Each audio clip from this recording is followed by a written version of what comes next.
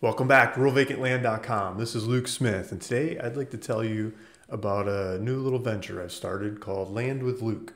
And uh, I just registered the domain name uh, like three minutes ago. Got it all set up, goes to my website, and uh, here's what it is. I've been talking to uh, different attorneys and gurus and all kinds of people to set this up. It's taken me a while. It's a nail biter, it's exciting, it's fun for me. And uh, what it is is a fund. It's a little fund that I can promote publicly on YouTube and all kinds of places to raise money to do deals. I love doing deals. I love doing real estate deals, and um, I think this will help spread the the deals around in a in a nice way. So, my story. I started uh, as a stockbroker, and uh, my income was up and down and all over the place with commissions, and there was gaps in there. I needed to pay the bills. I needed some kind of asset, some kind of alternative way to pay the bills in between my my passion at the time of of doing stock trades, and um, that uh, came by the way of um, houses in Detroit. Detroit was crashing, and the market was bad, and the, the houses I mean, the banks had mortgages on these houses for two or three hundred thousand dollars, and you could buy them for five or ten or twenty thousand dollars or less, really. But I mean, the better ones for five or ten grand uh, from the banks, and you could fix these things up and rent them out for like eleven hundred dollars a month. And I thought that was too good to be true, so I talked my sister into buying one of them, and then eventually more. And uh, figured out, you know, there's all kinds of problems and lots of things go wrong and there's lots of bills and lots of other bits and pieces to the story, but I still love the, the essence of the trade. And as that portfolio of properties grew with friends and family and others of money coming together to make more and more of those happen, um, the prices went up, the availability of them went away. The banks weren't as willing and able to dump the things or puke the things out. And uh, so I wanted an, another way to buy these houses. I wanted a way to buy them without all the middlemen people and without uh, like just not not plain market. I wanted some off market better deals. I wanted you know, I just want to haggle out some better deals. And so I started researching and I found this guru. I found this guy on um, I think it was on biggerpockets.com. Uh, Steve Butala, and he wrote a letter on there, and he said, you know, we could we can buy land by sending out letters in the mail and we can offer people cash and, and we can uh, buy them and then we can go put them on the market and sell them for more I'm like, really? So he's he's buying these things and he's buying them without all the middlemen people. He's doing it himself. And I'm like, this is interesting. This is creative. And so I started following his stuff and started learning. And I started sending out letters like he was talking about in his free education and he was saying like $100 an acre. And so i would send out letters for $100 an acre. And I, I couldn't figure out how to get my printer to print on the envelopes and and like the orientation and everything. And so i would print i would made a little mail merge and you know like 50 letters or 100 letters and um, wrote these letters to different property owners like looking up the properties on the county websites and stuff. And just getting basic information and mailing these people letters $100 an acre for desert squares. And boy did they yell at me. I had everything wrong. Um, but I, I hand wrote the envelopes and i gave them a cash offer and i put my contact information on there and they got back to me. And what i was mainly excited about was when i kept track of it it was it was more than 40% of those people that i wrote letters to they got back to me. They yelled at me and they said, you know, how stupid I was and everything else for making this crazy offer on their property. And they wouldn't sell it for anything less than, and then they'd give me some number. And um, it, the number didn't mean anything to me, but I kept track of it. And you do that with a whole bunch of people, and all of a sudden you see this one over here gives you like a stupid cheap number compared to the others. And I, I didn't know how to use that at the time, but I was learning. And so I paid for the course with Steve Butala and now Land Academy and um, it was like fifteen hundred dollars. I don't know what they charge now, but it, the course is very much more and different than now. I was like maybe their I was number four subscriber to their their program. You know, they, they were just getting started, and to get started, they gave some land away, and so they gave me a ten acre piece of property in uh, Elko, Nevada, and I put that thing up for sale on eBay for a dollar, and I sold it for $3,383.33. I remember that trade. I, I, put a link uh, in the description of this video, they'll go back to my website, landwithluke.com, and a link in there to that number one video of me selling that property on YouTube or on eBay. I didn't have a website to put it on or anything. I just put it on eBay, and you could put a YouTube video on eBay at that time. I don't think you can anymore. Um, but maybe you can i don't know. But it, for a dollar and just see where it goes right? I think somebody bid all threes and somebody outbid them by 50 bucks. And it went i was so excited because i paid like less than half of that for the program. Um, that was extra cool. And meanwhile while that was happening I, I, I learned how to send a little bit better letter answering questions of what people are going to ask ahead of time before waiting for them to call back and yell at me and that reduced the returns and responses way down but it got rid of a lot of the junk in there and got down to people that really wanted to sell their property or give it away or get rid of it or whatever you want to call it. And um, so he taught me how to make the letters a lot more accurate and he taught me how to uh, get the things recorded with the you know on my own and use a notary to go do the trade on my own and everything. And uh, so the first property i remember the first acceptance i got was in uh, 29 Palms, California. I sent these letters out. A bunch of five acre properties. Five acres is, you know, a nice, easy size property to go after. And so I just offered everybody that had five acres. And uh, I think it was, I don't remember if it was the whole county or the area, but I offered them all 500 bucks. And um, everyone's calling back and yelling and screaming, and you're crazy. And, and then this guy calls in, a, in the caller ID, I'll never forget it. It said 90210. And I was like, 90210 is calling. That's that's the show I used to watch as a kid. That's the show in Beverly Hills, 90210. And uh, they would make fun of the crazy Beverly Hills uh, lives that the kids were living. And um, it's like, you know, Beverly Hills is calling. Uh, so I answer the phone, and uh, I was answering the phone anyway. And I was you know, like here's my phone here. I was kind of like this, like, uh, you know, getting ready to get yelled at um, because everybody yells at me with those crazy offers I was sending. Like, please don't yell at me again. I hold it out here. Hello, you know, and uh, yeah, uh, yeah, I sent you a letter. Yeah, that's me. Yeah, uh-huh. how can I help you? And um, he says, well, I'd like to sell the land that you sent the letter on. I'm like, huh, I almost fell out of my chair uh, the guy said yes. I'm like, what's the catch? You know, what am I missing here? And um, he says, well, I'm like, yeah, here it comes. Here's the butt. he says, but you got to buy the other one down the street too. I'm like, the other one? Uh, you have two of them? He says, yeah, I got two of them. They're both five acres, and there's there's a street, there's a power line. Like, I don't want them. You know, I, I'm gonna I don't want to leave them to my kids. I don't want my kids to be burdened with them. I don't want uh, I don't want to give them to the church. I don't want to I don't want to do anything. You just got to do all the paperwork and it's got to be easy. And I'll sell them to you for a thousand dollars. Like okay, I'll do all the paperwork. I'll send a notary to your home with a thousand dollars cashier's check, and uh, she'll ask you to sign stuff. She'll ask you to see your ID, and um, then she'll just send it back to me. You keep the thousand bucks. He said, okay, done got his contact information. I called and I started calling around. I found a notary in the area and she charged me $250. I was like so shaken, nervous, you know, like wipe the sweat off my head. Like, holy cow, $1,000 is a lot of money for me.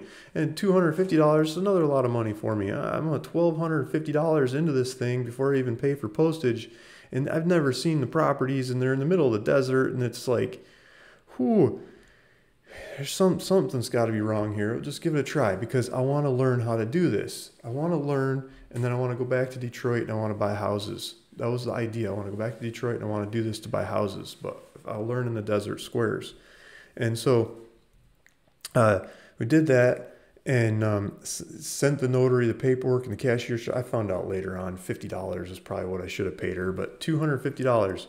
Here's your check for you and a cashier's check for him and she sent it back to me and I sent you know, got it all filled out and sent to the recorder. And the recorder writes back and says, No, you can't do this. I'm like, Oh, no, I lost. And the rec- I talked to her on the phone, like, What did I do wrong? You know, she sent me this letter. I can't understand it. I'm not an attorney.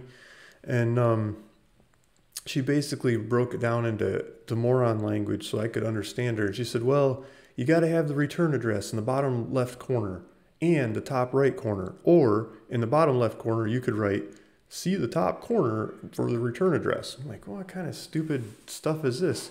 Okay, so I just hand wrote it on there and I sent it back. And then she uh, she got it recorded. I'm like, okay, it's easy to fix if you just ask. And um, so ever since then, I call recorders all the time and get stuff fixed and figured out, and you know it's no no big deal. Uh, and you can always just go back to the seller. Hey, I made a mistake. I just fixed one last week that was a deal from seven years ago. I think the lady called me five years ago or six years ago or something, and it was one number wrong and the seller was still alive and she was so happy and now we just did a digital notary i don't even have to use the the traveling notary and fixed it easy. Um, so my point was it's it's easy to close these things when you learn how and you get past the first one. And I got that property and I put it up for sale. And, or two properties. I put them both up for sale, or I put one up for sale first. I don't know why. I thought I'd sell one and then sell the other. I don't know what I was thinking, but I put I put them all over the internet, and I sold one for forty five hundred dollars. $500 buy, $4,500 sell with some, you know, some little minor costs in between. And uh, I don't remember what I sold the second one for. It doesn't matter. But that first one, $500 to $4,500, I was hooked. Like, oh, baby, no more Detroit. this is like land, land, land. How much of that can I buy? Who could I send these $500 offers to? Uh, I could send them to the whole state of New Mexico, Arizona, Utah, Nevada. Uh, why not try Oregon and Washington too? So I just start sending them to everybody. And uh, I bought hundreds of those properties and sell hundreds of those properties. Like, well, if $500 works, $800 should work even better. Try $800, buy hundreds of those, sell those buy them for thousand dollars, you know, and then two thousand and five thousand and different kinds of properties. And let's get a little more creative. Let's get stuff with views, like this picture in the background, right? Something that's not a desert square. Let's get something in the mountains. Let's get something with power. Let's get it with roads. Let's get it with septic. And it's gotten more sophisticated over time. And eventually, you start buying. I just sold one yesterday for six hundred and fifty grand. Um, you know, I it, it's, it's, you sell them different prices all the time. I sold one, one just closed yesterday for two hundred and thirty grand. I mean, the prices are all over the place, and uh, but you can you can scale into it, and land is a great way to learn, and it's uh, it's a beautiful asset. People always want more land. There's always people that don't want their land because they inherit it because they never used it because the dreams are dead and gone of the house they were going to build there. It became too hard for them or whatever the story is. So there's always don't wanters and there's always wanters and you can dance in, in the middle. And that's a beautiful thing. So I've done lots and lots of those. Um, so as those deals progress, it gets to uh, this deal, landwithluke.com. What do I use the money for? So I'll keep doing those same kinds of deals. And lots of times I line up a deal where I want to buy the property and it looks good, but there's some outlying question. Like, I don't really know if the septic is going to work. I don't really know if uh, I can find a tenant that goes here. I don't really know if XYZ is, is real or not. And so I might get a contract to buy the property from somebody who wants to sell. I'm trying to solve their problem, right? And then I go marketing and I find somebody who wants to buy the property, or I find a tenant that wants to uh, rent the property or use the property or make the thing happen, turn it into their business or their home or whatever it might be. And then I know the numbers and then I can sell it on the back of those numbers. And so I line up the buy, I line up the tenant, I line up the sell, and I get all the numbers put together before I pay for it. And then in most states, not all states, but most states, I got to grease the gears in between the buy and the sell. And so that's where I'd like to start this fund out. Later on, I'll get into more and more of the deals I do. But the basic, lowest risk, easiest um, money that I, I need on a constant basis, like readily easy access to. And the money goes for a day or two or three or maybe a week between the buy and the sell when I got it all lined up. I think it's very low risk there's not a whole lot of things to go wrong. If they go wrong and it falls apart, we end up with the land or the building or the asset or the, the real estate behind it. And it just work out another deal and sell it or rent it off to somebody else. Um, so it's it's pretty asset backed and short amounts of hold time and good returns in between. And we can do it again and again and again and again. And so on doing that, I would like to pay out a basic yield on the funds that you put into um, the deal. Let's talk on the phone about the size of funds and, and the scenario and stuff and come up with the percentage. I got an idea of what it is, but um, I'm not going to talk numbers on here. So uh, we'll do that. And then, as if when I want to and I can, I'll do bonuses on top of this. And so mm, the idea of the bonuses for me, the motivation for me is for you to send in more money. As you see bonuses paid out on this, you're like, hey, the return on this is pretty nice. I'm going to tell my friend, I'm going to tell my brother, I'm going to tell the other people that we do real estate deals with that Luke keeps sending me nice checks. And um, I think we should put more into his, his deal. And I'll keep the communications rolling of what kinds of deals we're into and what the, the asset values of the funds are and uh, what's backing it up. Um, so I think starting on this really, really low risk um, scenario and building up the asset base above and beyond the net asset value, doing that over time will make it safer and safer and easier to take on a little bit more sophisticated trades and a little bit more, a little bit more, and um, can grow the thing in a nice way from there. Um, so if you're interested in this approach, uh, there's uh, I'm putting a link in the description of this video. I'm putting this video on my website as well. The link will take you to landwithluke.com, which is like a piece of ruralvacantland.com. And uh, you can watch this video in description and there's a form you can fill out with your information.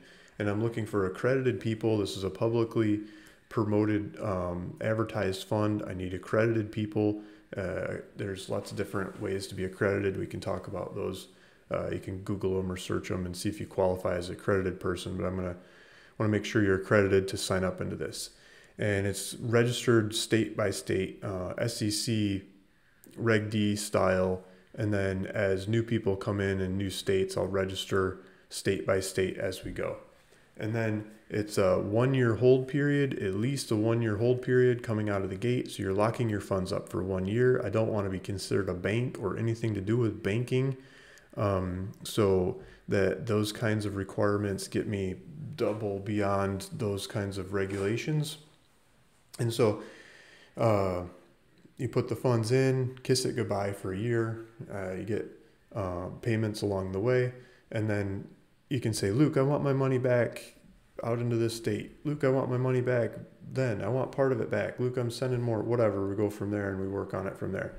The money back is not right away. The way the fund is written is it's if the money is is free and available, uh, we'll send it back to you after the timelines of the regulations. And if it's not, if it's being used, if it's um, predetermined into deals, I will delay you and tell you what's going on and I'll try to get you paid as fast as, as I can, depending on what the deals and the assets of the fund currently are and how much funds you're talking about. Um, and we can talk about that too. So my contact information will be on this page. My contact information is all over the place on my website and, and everywhere there as well. Um, so there's that. And then I wanted to go to the fun stuff, right? If that's not fun already. I want to. I started this YouTube channel out with a lot of live uh, broadcasts, and I had a lot of fun on the live broadcasts. I would uh, I would give land away. I would do mailers. I would do. It was, it's a show, right? I answer all kinds of questions. We had great people from the audience chiming in with good stuff going on, and um, that was a lot of fun. But then I had my my son, uh, who is uh, very active and makes it makes it very hard for me to get the time to totally dedicate to the show. But he's gotten older now; he's in school, and it's easier for me to get back to the show. And uh, I'm not going to give land away on the show anymore because I I gave land to a specific guy, and he went to the land and got sunburn and dehydrated and stuff like that, didn't take care of himself, and ended up in the hospital, and his family blamed me for it. And they were very adamant that if he didn't win and get that land from me, that he would have been in a much better physical shape than he is now. And he didn't have the full mental capacity to take this on. This was the first time he left the house on his own, and uh, I didn't know that, and I didn't have disclaimers and everything else. And if he would have had to pay for it and sign paperwork and stuff, he wouldn't have been able to pull it off. And it was a lot of their points. And I, I see what they're saying. Um, they make some points, but it's. Uh, I was just trying to be fun and nice and creative and, and give land away. And so I have to be more cautious about some of the things I do on this show. so I think this future, what I would like to do in the future show is uh, I would I would appreciate if you guys would come into the comments and say when you would like live broadcasts. Sometime during the week while kids are in school like so business hours my kids a specific time usually go to school about 8 a.m and they're out at 2 something. So within those hours um, what day of the week works for you? Not Wednesdays because I do a lot of auctions on Wednesdays but pretty much any of the other times in the week, I think I could make it work. If someone has preferred times, hit them in the comments. It'd be much appreciated. I'm gonna try to figure out like a, a good time to to roll with it, and I might do extras. And what I want to do is I want to do mailers. I want to do mailers to find tenants, mailers to find properties. I want to do phone campaigns, and I think this will be a lot of fun. I like calling a lot of the brokers that have properties listed and ask questions and see if I can hash out some deals. And there's lots of ways to work deals on these properties. So I think you guys can make fun of me and tell me better ways to do these deals, but I'll try my hardest to figure out ways to do these deals. And there's there's lots of ways to rework these things. Like uh, maybe it's an empty building and they're trying to sell it and they're not trying to put any money into it, and uh, the broker's got it up for sale, but everyone calls is saying I want to rent it, and but they want money to fix it up before they rent it. And like, okay, so you got renters and you got seller, and I could come in and I could buy the building, take it, you know, fix something, get your renter in there, and sell it the the next day. I might be able to do it all on the same day. And I think we can do some of those kinds of deals and lots of variations of those kinds of deals in the marketplace live on the live call.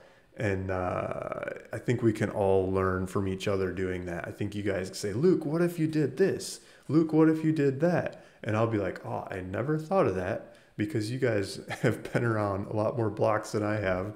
And uh, you guys might learn something from me making the mistakes of doing this that we all uh, benefit. So watch for live calls in the future.